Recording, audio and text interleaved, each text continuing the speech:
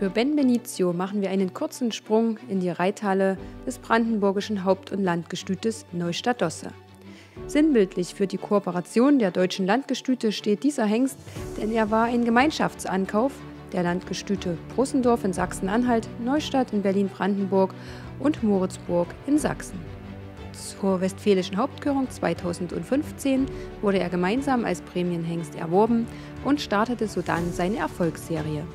So war er zunächst Sieger des 14-Tage-Tests in Adelheidsdorf mit der Endnote von 8,43 und siegte noch im selben Jahr im Westfälischen Championat unter Stefanie Fiedler.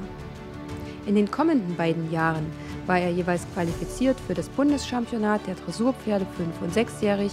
Im Anschluss hat er den Sprung in die Klasse S nahtlos geschafft. Unter Friederike Maas war er bereits siebenjährig in Klasse S erfolgreich und konnte allein in zwölf Prüfungen sechsmal den Sieg davontragen. Im letzten Jahr krönte der Sieg zu den Landesmeisterschaften in Berlin-Brandenburg den vorläufigen Höhepunkt seiner Karriere.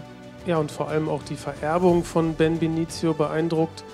Äh, schon im ersten Fohlenjahrgang zahlreiche hochbezahlte Auktionsfohlen und dann vor allem aber auch ähm, drei gekörte Söhne aus den ersten beiden Jahrgängen, darunter die Landbeschäler Benedikt in Marbach und Ben Amour in Celle.